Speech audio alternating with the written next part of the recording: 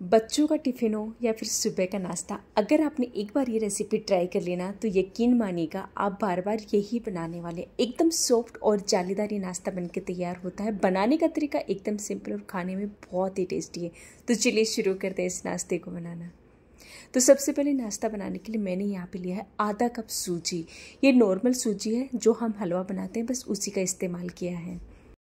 जितना हमने सूजी लिया है, उसका आधा यहाँ पे हमने दही का इस्तेमाल करना है। यानी कि एक चौथाई कप मैंने दही का इस्तेमाल किया है। आधी चम्मच इसमें हम नमक डाल देंगे। यानी कि स्वाद के अनुसार इसमें हम नमक डालेंगे। और आधा ही कप इसके अंदर हम यहाँ पे पानी का इस्तेमाल कर रहे हैं। ये नॉर्मल दही लिया है मैंने, खट्टे दही का इस्तेमाल नहीं किया है। और ये नाश्ता अगर आप ज़्यादा बनाना चाहते हैं तो सूजी और दही की क्वान्टिटी आप बढ़ा सकते हैं। सभी को हमें अच्छे से मिक्स कर लेना है और इसे ढककर दस मिनट के लिए हमें छोड़ देना है सूजी फूलने तक। और साइड में यहाँ पे हमने इडली मोल्ट लेना है और इसके ऊपर हमें अच्छे से तेल लगा देना है। और जो नाश्ता है, आज हम यहाँ पे इडली मोल्ट के अंदर बना के तैयार कर रहे हैं। दस मिनट के बाद में हम चेक पर चेक कर लेते हैं। सूजी है, वो अच्छे से फूल चुकी है। थोड़ी सी गाढ़ी है तो इसके अंदर हम थोड़ा सा पानी और डाल देंगे। तो इसे हमें ना ज़्यादा पतला नहीं करना है थोड़ा सा इसे हम ना गाढ़ा ही रखेंगे। तो लगभग यहाँ पर मैंने ना चार से पाँच चम्मच का इस्तेमाल किया है पानी का। अब इस बैटर के अंदर हम आधी चम्मच यहाँ पे इनो डाल देंगे। थोड़ा पानी डालकर इस बैटर को हमें एक बार अच्छे से मिक्स कर लेना है। वैसे आप इनो की जगह यहाँ पे आप बेकिंग सोडा का भी इस्तेमाल कर सकते हैं। इसे फटाफट से हमें एक बार अच्छे से मिक्स कर लेना है और जो हमने इडली मोल्ट लिए है तो उसके ऊपर हम ना थोड़ा थोड़ा बैटर हम इसके ऊपर डाल देंगे। तो आज ये जो नाश्ता है हम आप ही छोटी साइज़ की इडली बना के तैयार करें। वैसे आप बड़ी साइज़ की इडली भी बना के तैयार कर सकते हैं।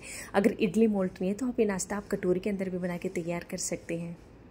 सभी को मैंने इसी तरीके से डाल के तैयार कर लिया। और दूसरी साइड में इडली मोल्ड के अंदर पानी को हमने अच्छे से गर्म कर लिया है पाँच मिनट के लिए।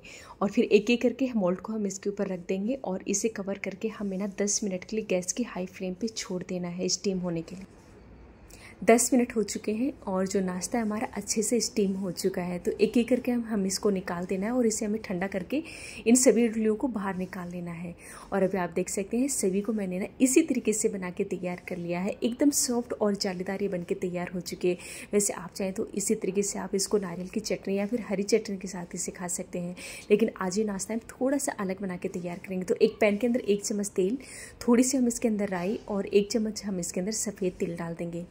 राई और तिल को हमें ना एक बार अच्छे से चटकने देना है। जब राई चटकने लग जाएगी तो हम इसके अंदर डाल देंगे यहाँ पे थोड़ी सी कड़ी पत्ता।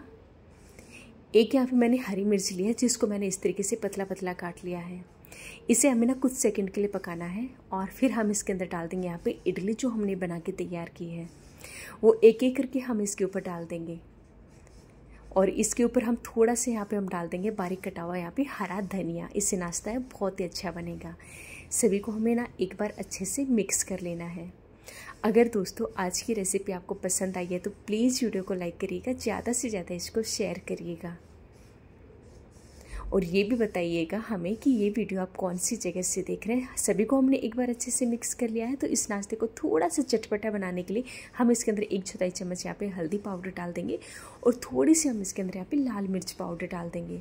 दोनों को हमें अच्छे से एक बार मिक्स कर लेना वैसे आप चाहें तो इस टाइम पर आप नमक का भी इस्तेमाल कर सकते हैं, लेकिन अब मैं यहाँ पर नमक का इस्तेमाल नहीं कर रही हूँ, क्योंकि हमने ना इडलियों के अंदर भी नमक का इस्तेमाल किया है। अब आप देख सकते हैं हमारा जो नाश्ता है बनके बिल्कुल तैयार हो चुका है। बस इसे ना मसाले डालने के बाद में एक से दो मिनट के लिए हमें गैस की मीडियम फ्लेम पर ही पकाना है।